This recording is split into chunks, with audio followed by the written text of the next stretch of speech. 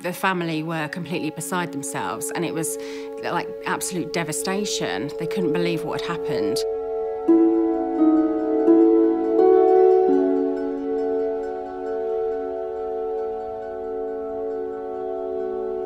Their son or daughter suspected to have gone abroad and got involved in a conflict, which it's quite likely they won't come back from.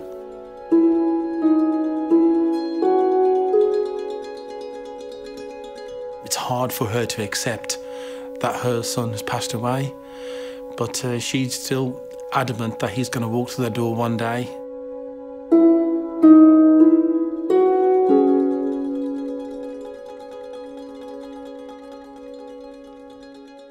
You can just see the person's world falling apart.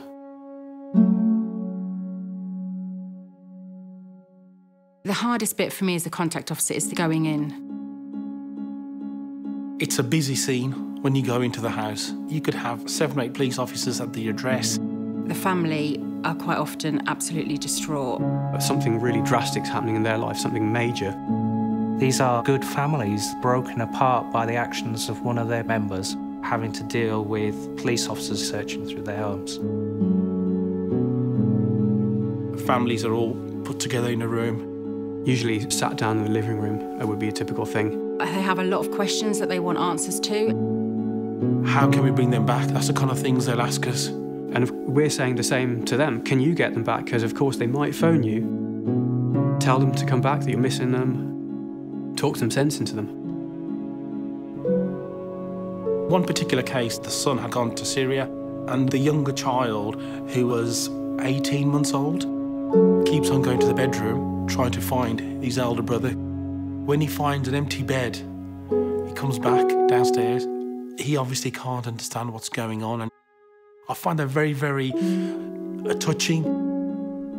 Work will be done with the schools to see whether they had any concerns over the children. Social services will be informed. Children are very vulnerable. Often they're the ones that have found the note saying that their brother has gone. I think people in many situations don't give proper thought to how this is going to impact upon their family. However hard you try to not make it look like there's something going on, people, neighbours will be aware of what's going on. People do see, you know, people walking up and down the garden path, going out to the, a car and fetching a big bag of equipment.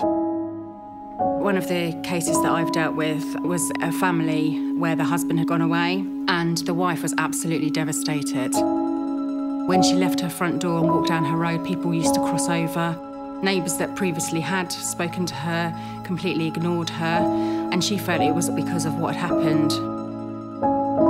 It's incredibly difficult for a family who have had no contact with the press previously to have reporters descending on their door day and night. It's on the news, it's in the papers, it's in the community. They can't get away from it. They're stigmatized. They are the the, the terrorists that live up the road, as it were. Being a contact officer is an emotional role. It's very difficult to explain to the mother. She'll never get to see her child's coffin because her son's been killed on a, a field in Syria. There's no closure because there's no body.